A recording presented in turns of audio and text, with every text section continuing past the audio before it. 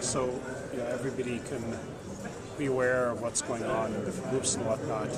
Uh, I think, though, sometimes, uh, and as Wave has demonstrated, you know, a little bit two eyes early can curtail your creativity a little bit. So when these guys kind of went off and tucked out their own little office and really did some wild and crazy things kind of on their own, I think they were able to uh, be a little bit more free. And then later we roped in the rest of the company. So, So I think just that little bit of uh, creative uh, Space. respite- space is pretty important. But uh, at some point, you started using it uh, yourself uh, and others.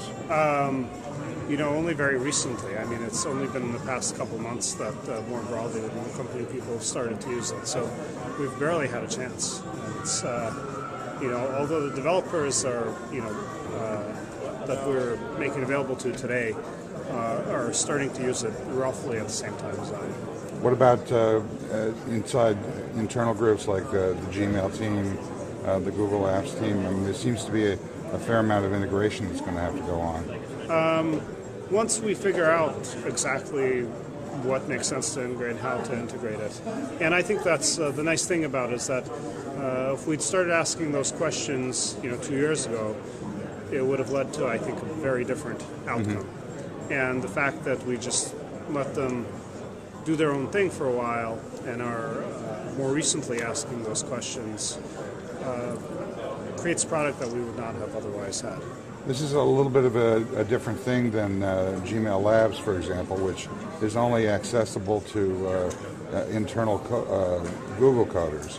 Uh, this is you're opening this up Oh, yes. much earlier. From the developer API point of view, yeah, that's one of the things that uh, they really thought through from the outset. They wanted to have third-party support built in, uh, and that's true. That uh, Gmail uh, does not that have that kind of uh, extensibility yet. But we hope that apps more broadly will become extensible over time.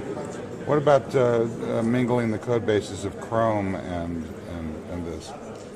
Well, I think that this runs really well on Chrome, and I think that they've been actually sending feedback to the Chrome team about you know what they need in Chrome and what kind of performance benchmarks we need. Uh, so that's been actually a very successful collaboration. Also, it's been a very good collaboration for the Google Web Toolkit team, because Wave is all built on GWT. Uh, our new uh, AdWords uh, interface is all built on top of GWT, so we increasingly are using that, and those have been very successful interactions. So do you think there might be some templates built for GWT that would allow uh, your developers to be, I mean, developers outside the company to be able to, uh, you know, move quicker? Um, I hope so. And it's not just a question of templates, there are also some important performance issues that they've been working on, just producing somewhat faster JavaScript and whatnot. Uh, and that, that's been very important too. What about the uh, background tasks in terms of web workers? Is there an interaction there in terms of uh, the way GWT is going to work? Uh, I don't know. that's something you have to ask Lars. Well, it seems like uh, this real-time thing. You Yes. uh, obviously you have a, an interesting opportunity, put it that way, to uh, to handle the kind of uh, issues that FriendFeed and to some extent Twitter have already sort of experimented with.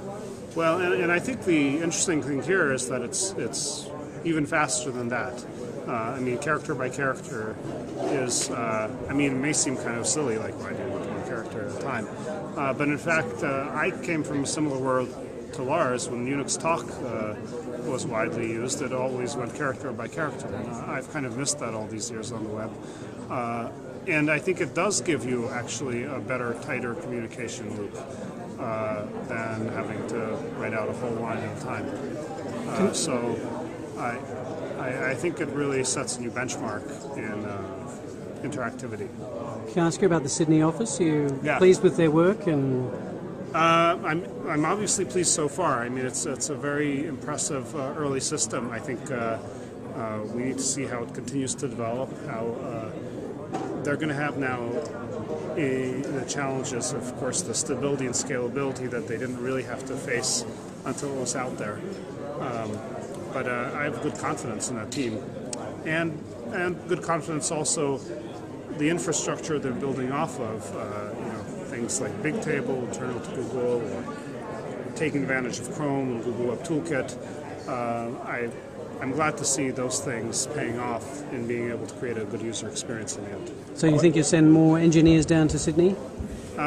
Well, they've been. I think they mostly recruit locally. It's not. I guess I phrased it maybe incorrectly. I mean, it's. Uh, uh, they are. They were in fact based in Sydney. Though they spent a lot of time Mountain View. Obviously, my meetings will happen not in Mountain View. Uh, but they do recruit a, a lot of good talent uh, down under. Doesn't this have implications for uh, uh, for working remotely? Doesn't isn't that going to change uh, how Google uh, operates in terms of uh, disconnected teams? Well, we were all worried that Wave would come out upside down because they're working on it down there. But uh, I guess it's given us greater confidence. Um, I think, uh, in all seriousness, uh, we believe in really a tight knit, uh, you know, community that really is uh, communicating a lot uh, all the time. But this did demonstrate that there was actually some benefit to a little bit of isolation early on. Uh, and uh, you know, when, when Lars and Jens said we are going to rethink communication, they really did rethink it. I mean, uh, a lot of other early uh, ideas tend to get focused down to what you already have. In fact, uh, the earliest versions of Gmail we used internally, uh, there wasn't a distinction between uh, chats and messages, and then we kind of lost that. Uh, and I think that was because of a little too much um, listening to people's expectations, who uh, a little too early on. What is your main role? Uh, Stephen, in fact, had demoed it to me probably a month prior to them uh, to them putting it out there.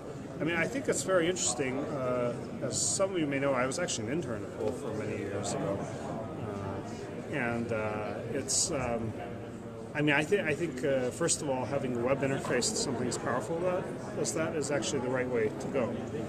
And the idea that because you have now this web interface, uh, you can bring in a much larger corpus of information than you would for installed software, for example. Uh, it really highlights uh, the capabilities of that model. And I think I'd like to keep playing with it more. Uh, um, I think it's going to keep developing and be very interesting.